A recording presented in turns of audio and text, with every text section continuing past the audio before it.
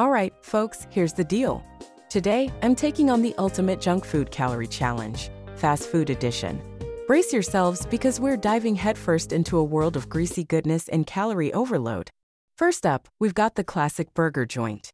Double cheeseburger, large fries, and a milkshake that could give you brain freeze for days. The calorie count? Well, let's just say it's not for the faint of heart. Next, we're hitting up the golden arches. Big Mac, large soda, and those addictive fries that you just can't resist.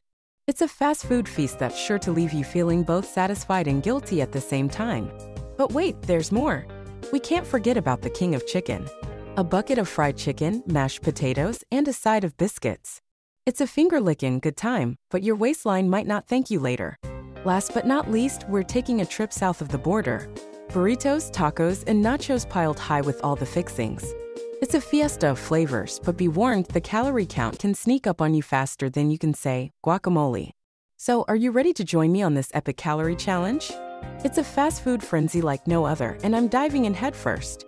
Let's see if I can conquer the ultimate junk food calorie challenge, fast food edition. Wish me luck, folks.